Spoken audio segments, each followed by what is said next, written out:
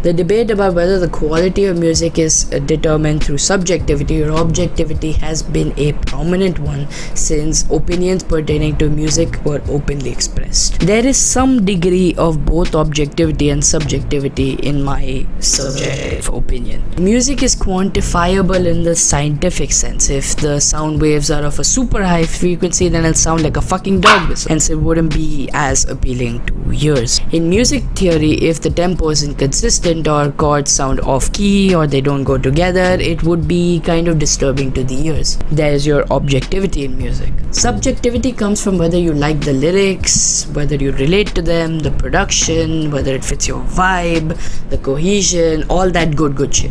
Some people like bars about societal issues. Some people like bars about um, sad boy shit. While others might dislike that shit and they might like bars about someone's fucking massive dick or some shit. I don't know, man. The same goes for production. You might think that the mixing is terrible and it sounds too distorted or whatever, but some people like that shit. Some people like auto tune, some people don't. You get it. It just brilliant. So, from whatever I said, you can tell that there are more subjective factors when it comes to determining the quality of music than there are objective. However, objectively, your opinion is fucking crap.